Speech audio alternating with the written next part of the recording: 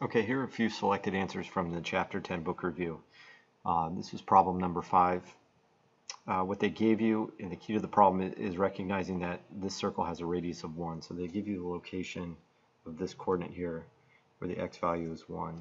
The key there being that you can draw a radius in any direction and that radius will have the same value. So the hypotenuse of this right triangle will have a value of 1. They give you that this is 30 degrees, so opposite 30 is 1, opposite 90 is 2, opposite 60 is root 3.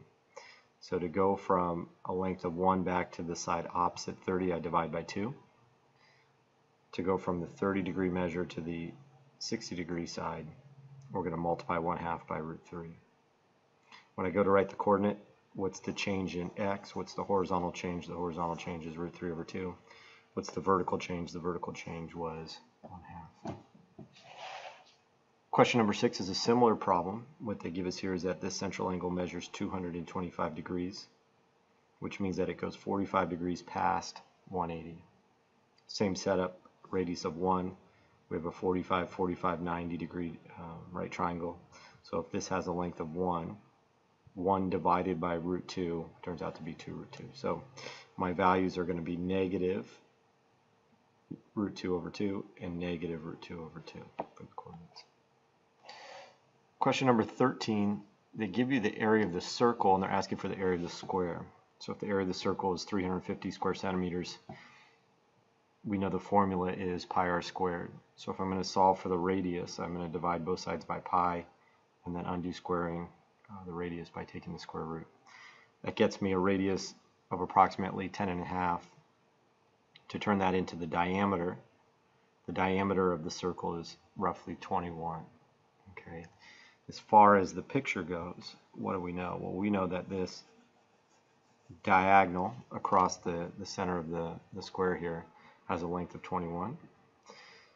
Again, we have a 45, 45, 90 right triangle. So if I take the diagonal or the hypotenuse and I divide it by root 2, I get approximately 15. And then to get the area of the square, I take the side and square it and multiply by itself. So my solution is approximately 222 and 8 tenths square centimeters. Question number 12.